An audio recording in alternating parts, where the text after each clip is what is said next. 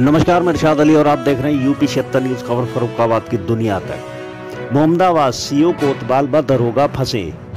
Court में पद के दुरुपयोग में परिवार दर्ज।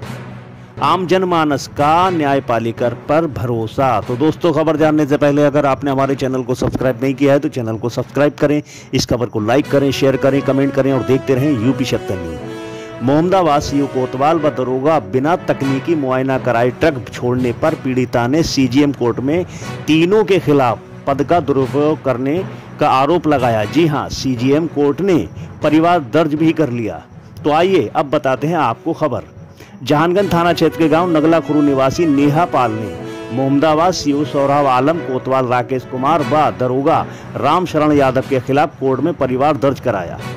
जिसमें बताया कि 16 दिसंबर 2020 को प्रशांत पाल के साथ साइकिल से घर का सामान लेने मुरहास कन्हैया बाज़ार गई थी। वहीं से पीड़िता का भाई कोचिंग के लिए जाने लगा। अतः बेवर की ओर से आ रहे ट्रक ने पीड़िता के भाई की साइकिल में जोरदार टक्कर मार दी। भाई के गिरने पर उसका पैर कुचल गया। ट्रक चालक व ट्रक को मोहम्मदाबाद पुलिस ने अपनी कस्टडी में ले लिया। पीड़िता ने ट्रक व चालक के खिलाफ मोहम्मदाबाद को कोतवाली में रिपोर्ट दर्ज कराई।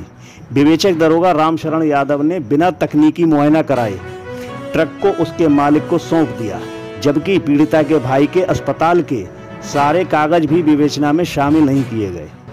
दरोगा ने विवेचना कोतवाल को अग्रसरित कर दी और कोतवाल ने चार्जशीट पर हस्ताक्षर कर सीओ को।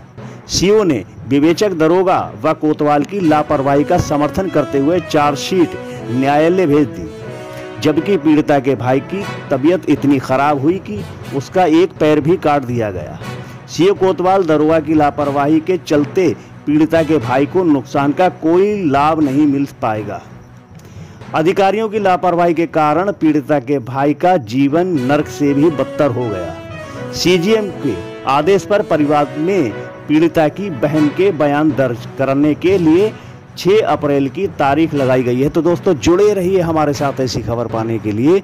और एक बार मैं फिर आपसे कहना चाहूँगा कि अगर आपने हमारे चैनल को सब्सक्राइब नहीं किया है तो चैनल को सब्सक्राइब करें, इस खबर को लाइक करें, शेयर करें, कमेंट करें और देखते रहें यूपी छिहत्तर न्यूज़। फिर मिलते हैं कहीं किसी और वीडियो में किसी और समस्या को लेकर किसी और खबर के साथ। तब तक के लिए मैं आपका दोस्त इरशाद अली, जय हिंद।